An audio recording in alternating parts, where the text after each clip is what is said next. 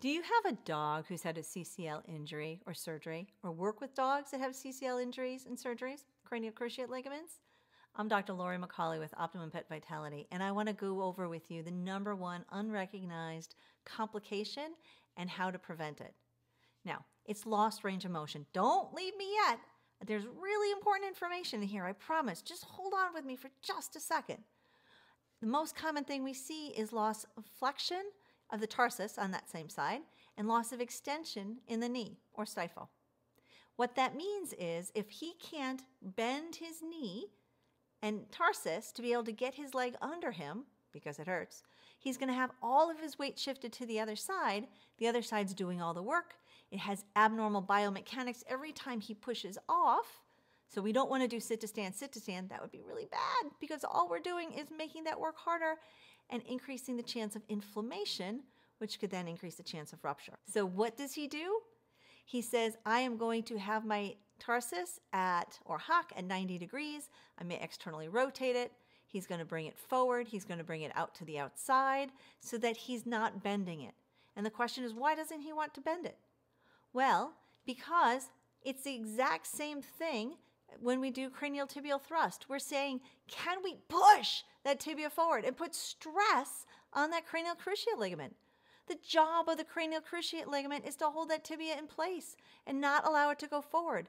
So when we, like when we're doing cranial tibial thrust, flex that hock or tarsus, we are pushing that forward. So again, sit to stand, sit to stand is pushing it again, again, and again. We don't want to stress those ligaments. We don't want to stress those fibers because, ouch, it hurts. They're doing it because it hurts. And we want to watch for inflammation on the opposite side. Really important, so very, very important. Infl- or fusion or increased fluid inside the joint is the outward sign of inflammation inside the joint. That fluid has direct contact with the cranial and caudal cruciate ligament. And the inflammation is what makes it go bing, bing. The little fibers of the cranial cruciate ligament flick, flick until you have enough to have it be a partial CCL tear. Or poof, it blows, right? We don't want that to happen. So we want to watch for the inflammation on the other side. Back to the range of motion, but I had to put it in because it's so very, very important. With the range of motion, how do we know if there's a problem? We measure it. There's a goniometer that we can put on the knee and measure its flexion and extension, and then put on the hock and measure its flexion and extension. And we're doing passive range of motion when we measure. So active range of motion is what can the dog do? Passive range of motion is taking that further. That's what we're doing here. And we know what the numbers should be. Super, super important, right? One of my major points is you do not want to tell people or do, oh, just grab the toes and push it up and everything will bend. It'll be great. No, it won't. Actually, what happens is the joints that are hypermobile or normal, meaning too much motion or normal, will bend more. And the ones that are hypomobile, not moving the way they should, will not change because they hurt. So you're actually overusing some joints and not having the change that you want. What you really want to do is isolate each joint. So you want to flex the hip, then flex the knee, and then flex the hock. Always, always, always within their comfort zone. So flex the knee or flex the hip, stabilize above, flex the knee, and then come down below and flex the tarsus. When we extend the joints, we want to think, I always say it's like clapping. You take your hands and you bring them together.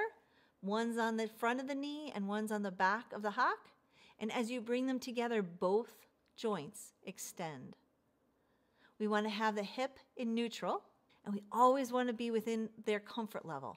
And please, please, please do not say, I'm going to work on extension of the tarsus. We never have problems with it, right? Well, very, very rarely. German Shepherd's my only breed. But I have seen people do this with either the carpus or the tarsus, and they cause irreversible damage. We do not want that. So we're going to do nice, gentle extension like this, and that's as far as we go. The other really important point I have is the 90 second rule. Remember when you were a kid and you dropped something on the floor and you go, whoop, five second rule. It's only been on the floor less than five seconds. I can eat it. In rehab, there is a 90 second rule. In humans, they say if we're going to stretch something, we are going to stretch it for either 45 seconds, relax it, 45 seconds, right? Adds up to 90. Or we're going to do 30, 30, 30, stretch, relax, stretch, relax, stretch, relax. I found before I even knew about the human stuff was 10 reps of 10 seconds. And you say, Laurie, that's 100 seconds. I know, but it works really well and it's easy to remember. And I found with dogs, it works better than the 30, 30, 30 or the 45, 45. So you want to stretch and while you're stretching, massage the tissue that you're stretching, whether it be muscle, tendon, fascia. If nothing else, you're going to increase blood flow to the tissue, and you may even be releasing some endogenous opioids or other chemicals that will make it feel better. All right. I'm Dr. Laurie McCauley with Optimum Pet Vitality. I hope you had fun. I hope you learned something, and I'll see you next time.